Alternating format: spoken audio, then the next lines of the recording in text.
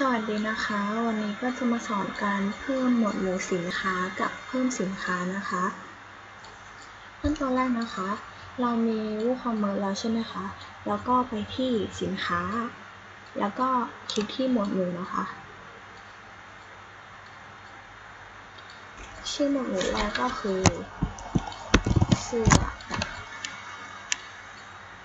New Catalog นะคะเอ่อคื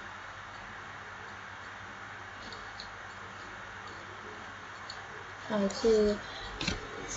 เพิ่มไปแล้ว 2 หมวดหมู่นะคะ จะเพิ่มอีก 3 หมวดหมู่นะคะ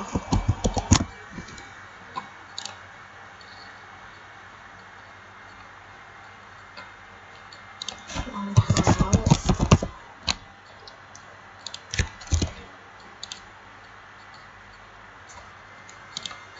กระเป๋านะคะ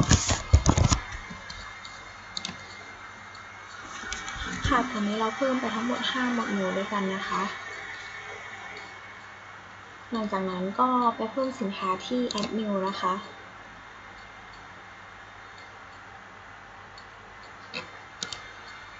ชื่อสินค้าแรกเป็นเสื้อยืดนะคะ คลิกหมวดหมู่ว่าเสื้อนะคะ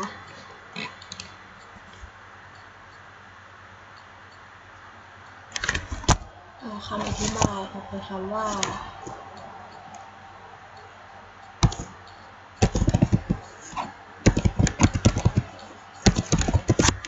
ประมาณนี้นะคะ แล้วก็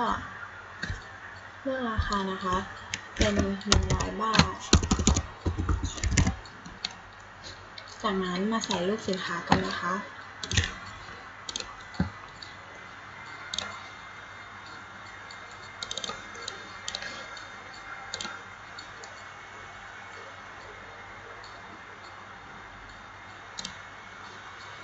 แล้วก็เพิ่มเป็นแกลเลอรี่นะคะ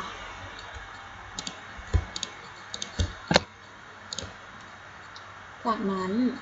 กดเผยแพร่นะคะ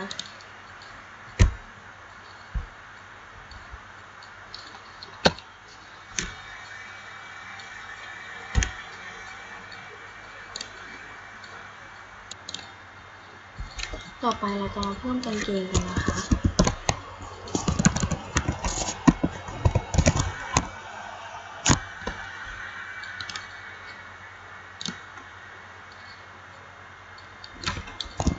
กางเกง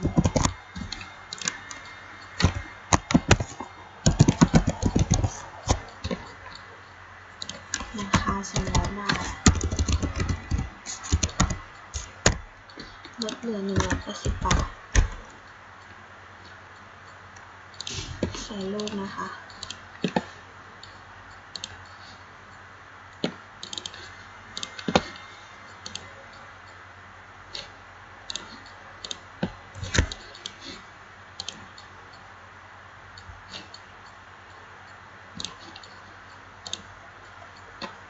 แล้วก็มาใส่ในแกลเลอรี่กันนะคะ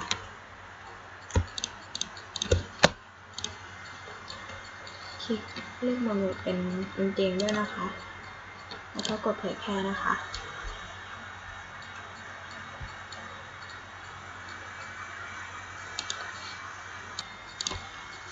ค่ะ ตอนนี้เราก็เพิ่มสินค้าครบ5หมวดหมู่แล้วนะคะ ไปดูที่สินค้าทั้งหมดค่ะ นะคะก็จะมีสินค้าทั้ง 5 อย่างที่เราเพิ่มมานะคะ